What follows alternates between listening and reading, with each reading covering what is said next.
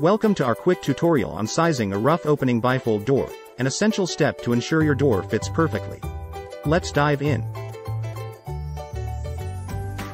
The space for the door, or the opening size, should be up to 1 to 1.5, larger than the actual bifold size. Let's illustrate with an example. Opening size versus actual size a door with a nominal size of 36 inches by 80 inches has an actual size of 35.5 by 79 inches. The opening size to fit this door should be up to 36 inches by 81 inches. For a 4DR door, the opening size can be up to 72 inches by 81 inches. The bifold should be slightly smaller to fit. Each bifold panel is actually 17 and 3 quarters inches wide and 79 inches in height, giving us a total width of 35 and a half inches.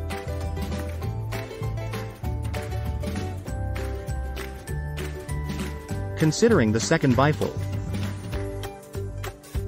For a space measuring 72 inches by 81, we'd use two bifolds, each 35 and a half by 79.